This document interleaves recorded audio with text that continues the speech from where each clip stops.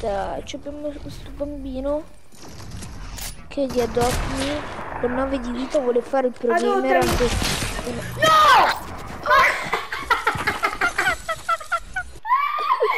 ho la, la scena più stupida del mondo, vedi preparati.